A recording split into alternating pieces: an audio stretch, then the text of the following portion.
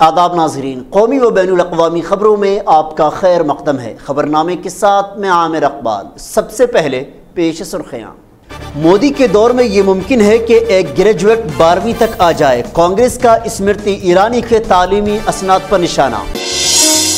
NCP और कांग्रेस ऐसे लोगों के साथ खड़ी है जो मुल्क में दो वज़ीर आज़म की बात कर रहे हैं। पीएम मोदी का निशाना।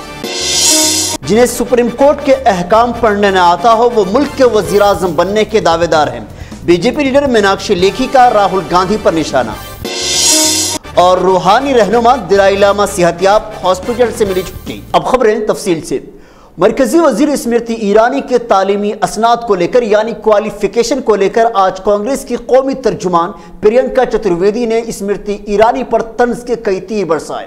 प्रियंका चतुर्वेदी ने कहा कि जिस तरह से स्मृति ईरानी ने एफिडेविट के ज़रिए अपने तालीमी असनाद को लेकर जो एक रिवायत कायम की है, और वो ये है कि पहले वो ग्रेजुएट थी, फिर बाद में बारहवीं पास हुई। ये तमाम तर चीज़ें मोदी हुकूमत में ही मुमकिन है। प्रियंका चतुर्वेदी ने आगे कहा कि अमेठी के हवाले से ये खबर मालूम हुई है कि उन्होंने ये कबूल किया है कि पिछले चार दस्तावेजा झूठी थी। उनके मुताबिक Smriti Irani B Com first year मुकम्मल की हैं। स्मृति ईरानी ने मुल्क से झूठ बोला है। मंत्री भी कभी ग्रेजुएट थी। और उसका ओपनिंग लाइन में बताती हूँ क्या होगा। क्वालिफिकेशन के भी रूप बदलते हैं। नए नए सांचे में ढलते हैं। एक डिग्री आती है। एक डिग्री जाती है, बनते एफिडेविट नए हैं। जिस तरीके से स्मृति ईरानी जी ने अपने एफिडेविट को लेकर एजुकेशनल क्वालिफिकेशंस को लेकर एक चीज़ कायम की है कि किस तरीके से ग्रेजुएट से बारहवीं कक्षा के हो जाते हैं वो मोदी सरकार से ही और मोदी सरकार में ही मुमकिन है। महाराष्ट्र के अहमदनगर में आज एक इंतबी रैली से खिताब करते हुए वज़ीर आज़म नरेंद्र मोदी ने कांग्रेस और एनसीपी पर निशाना साधा। वज़ीर आज़म नरेंद्र मोदी ने कहा कि आज कांग्रेस और एनसीपी ऐसे लोगों के साथ खड़ी है जो ये कह रही है कि जम्मू कश्मीर को हिंदुस्तान से अलग करेंगे और जम्मू कश्मीर के लिए इलाहदा वज़ीर आज़म बनाएँगे। नरेंद्र मोदी ने आगे कहा कि कांग्रेस से मुझे कोई उम्मीद नहीं थी, क्योंकि ये गुना उन्हीं की पैदावार है। मगर शरद पवार को आखिर क्या हो गया है? वज़ीर आज़म ने आगे कहा कि ये तो वही पवार है ना, जिन्होंने मुल्क के नाम पर कांग्रेस को खैराबाद के हदिया था, कांग्रेस को तोड़ दिया था। इस मुल्क में दो वज़ीर आज़म की बात हो रही है और शरद पवार कब तक खाम लोगों के साथ खड़े हैं, जो कह रहे हैं कि जम्मू कश्मीर को भारत से अलग कर देंगे। जम्मू कश्मीर में अलग प्रधानमंत्री बना देंगे। मुझे कांग्रेस के लोगों से कोई उम्मीद नहीं है, क्योंकि ये पाप उन्हीं की पैदावार है। लेकिन मुझे समझ नहीं आता है कि शरद राव पवार को क्या हो गया है।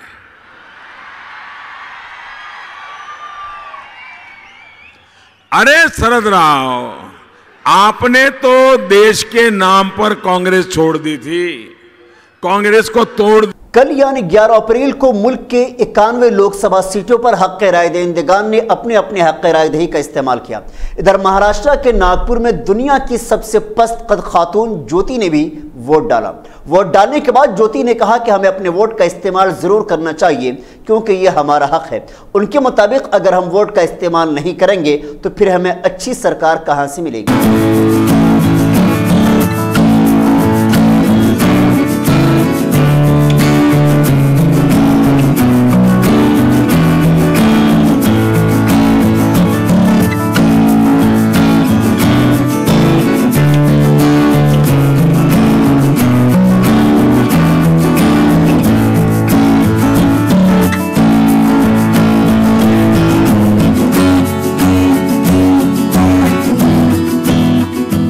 मुझे तो वोट करके बहुत अच्छा लगा।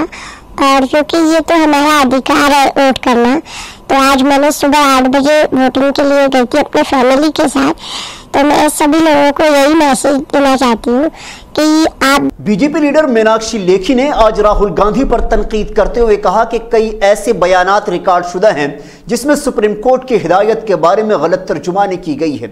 मीनाक्षी लेखी ने कहा कि यह हवाला दिया जा रहा है कि सुप्रीम कोर्ट ने कहा कि चौकीदार चोर है और तीस हज़ार करोड़ रुपया अंबानी को दिए गए। उनके मुताबिक ऐसे बेबुनियाद बयान इंतखाबी दौर में दिए जा रहे हैं।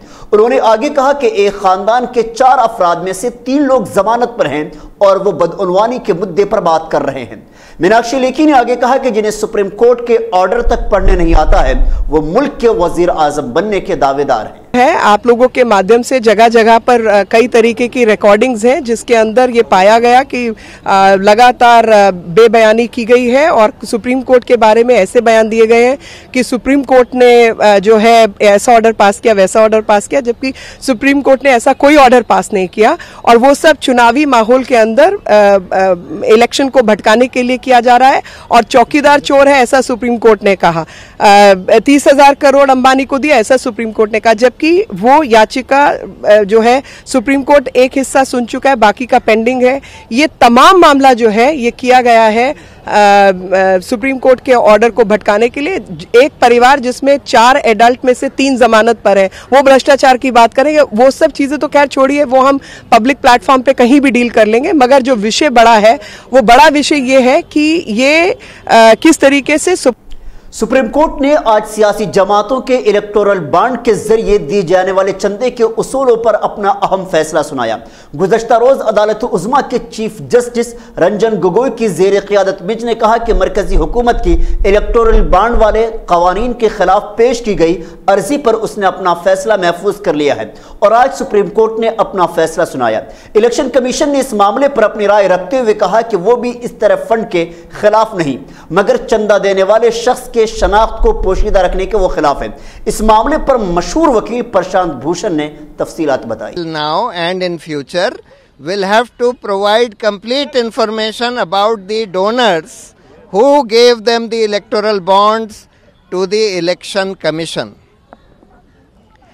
therefore दिटी of the donor will at least be gone to the election commission unless that party, and in this case, almost all the electoral bonds of about 2000 crores have been received only by one party, that is the BJP, the ruling party, unless the BJP chooses to say that, well, we don't know who gave us these bonds of 2000 crores. Some bird came and dropped these bonds in our office. Therefore, we can't say who gave these bonds to us Unless they say that, they will have to disclose who gave them, and therefore, this now this uh, mystery will open open up as to who are these companies, what kind of benefits have these companies received at the hands of the खबरें और भी हैं फिलहाल लेते हैं मुख्तसर सा वक्फा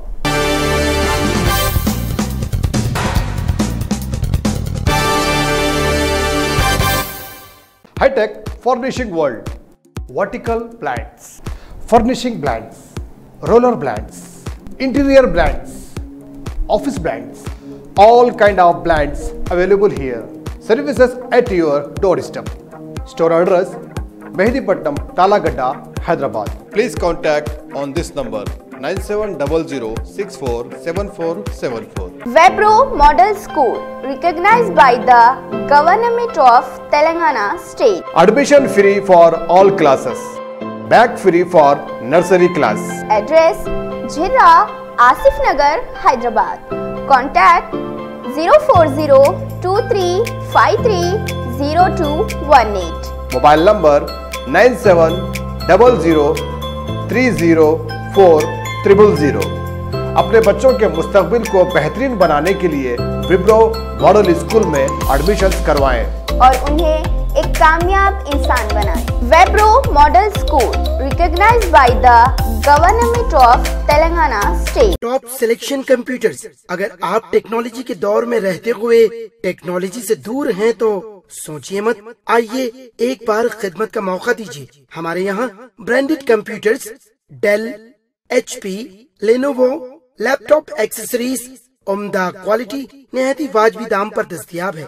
school college corporate office वगैरह में बल्क क्वांटिटी में सप्लाई की जाती है। इसके साथ साथ हमारे यहाँ माहिर टेक्नीशियंस की निगरानी में रिपेयर की सहूलत भी मौजूद है। अगर आप अपने घर, दुकान सोसाइटी स्कूल वगैरह को सेफ़ और क्राइम फ्री बनाना चाहते हो तो इंस्टॉल कीजिए सीसीटीवी कैमरा जो एच डी क्लियरिटी के साथ दस्तियाब है। गुजश्ता दस साल से मुल्क भर में अपनी इन तमाम खिदमत को जारी रखते हुए आपके एतमाद को बरकरार रखने वाला नाम top selection computers Vijayanagar colony beside Riyan hotel Hyderabad. Director Syed Rashid Ali phone nine eight four nine seven one five nine five four top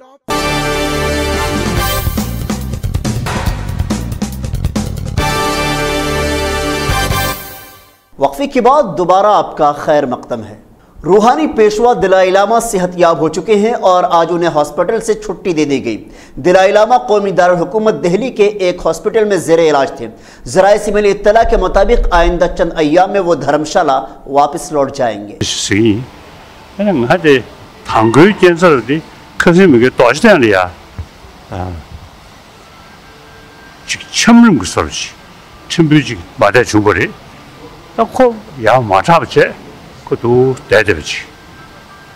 그들이 로과교 심주로 틀치고 시스터네 로리에 침비지 직도스. 다이네 일이 거기 나무 처리 인도산에 아니 맨주샤디 일이 제제 답하지 들지 균듬 군림 소리지 여기서 차서 나 정말로 로 대부치로시 그래서 내 그냥 정말로 승굴라 몇몇람 겨 저디래 나 투시스기 아니 그냥 저 겨사시부터 아니 잠배보 지들 이렇게 모두 군도 소 못해야 되신 대다 꾸지 쳐서 다로시 겨원데다 탐지 로도 ngෝ시 ngෝ치 이 얘다 मरकजी वज़ीर स्मृति ईरानी ने आज कांग्रेस पर निशाना साधते हुए कहा कि कोई गाली या कोई ऐसी साजिश नहीं है जो पिछले पाँच सालों में कांग्रेसी कारकुनान ने मेरे खिलाफ न किया हो। स्मृति ईरानी ने कहा कि उनके गुस्से की वजह सिर्फ़ एक है और वो ये है कि अमेठी से मैंने नामदार को चैलेंज किया था। स्मृति ईरानी ने आगे कहा कि हिंदुस्तान की एक आम खातून के अंदर वो दमखम है कि वो नामदार को चैलेंज कर सकती हैं। उन्होंने कहा कि अमेठी में कांग्रेस ज़रूर हारेगी। नहीं एक ऐसी निर्लज व्यवहार नहीं जो कांग्रेस के कुछ चेले चपाटों ने मेरे साथ गत पाँच वर्षों में ना किया हो। उनका गुस्सा मात्र इतना कि मैंने अमेठी में नामदार को चुनौती दी है। चेले चपाटों से कहना चाहूँगी, हिंदुस्तान की सामान्य परिवार की महिला में इतना दमखम है कि वो नामदारों को टक्कर भी दे और हराए भी। अभी तो शुरू हुआ है। नामदार अभी दूसरी सीट पर पहुँचे हैं उनकी परमानेंट इस सीट से हार तेरह मई को सुनिश्चित हो जाएगी। कांग्रेस के जितने चेले चपाटे मुझे जितना अपमानित करना चाहें, जितना लज्जित करना चाहें, जितना परेशान करना चाहें, उन्हें खुली छूट है, लेकिन गांठ बाँध लें कि हिंदुस्तान मरकजी वज़ीर दिफा निर्मला सीतारमन ने आज इलेक्शन कमीशन से मुलाकात की। मुलाकात की वजह यह बताई जा रही है कि निर्मला सीतारमन ने कांग्रेसी सदर राहुल गांधी के खिलाफ शिकायत दर्ज कराई है कि राहुल गांधी ने सुप्रीम कोर्ट का हवाला देते हुए कहा कि एक शख्स को तीस हज़ार करोड़ रुपया दिया गया है। उन्होंने कहा कि ये बेबुनियाद बातें हैं। April, 11th April, petitions were sent to the Election Commission on how, in spite of the December verdict, December 2018 verdict of the Supreme Court, repeatedly the Congress President has called the Prime Minister a chore and also without any evidence whatsoever, he repeats that the Prime Minister has given 30,000 crores to somebody and that statement is said without any hesitation or proof. So we've drawn the attention of the Election Commission that both the Supreme Court and CAG have never said anything of Supreme Court ने वज़ीर आज़म नरेंद्र मोदी की ज़िंदगी पर मबनी फ़िल्म PM Narendra Modi की नुमाइश पर 15 अप्रैल को समात का ऐलान किया है फ़िल्म पीएम नरेंद्र मोदी में मरकजी किरदार निभाने वाले बॉलीवुड अदाकार विवेक ओबराय और संदीप सिंह आज मुंबई के एक मंदिर पहुँचे और अपनी फ़िल्म की रिलीज़ के लिए पूजा की।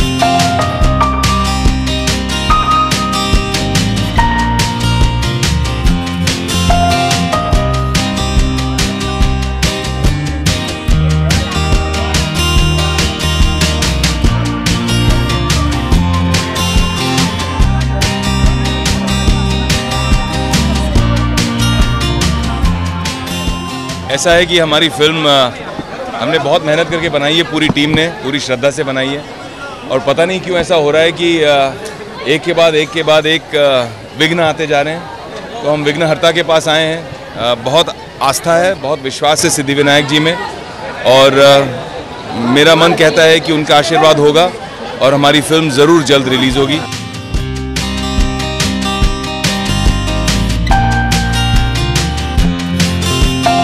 आखिर में सुर्खियाँ एक बार फिर।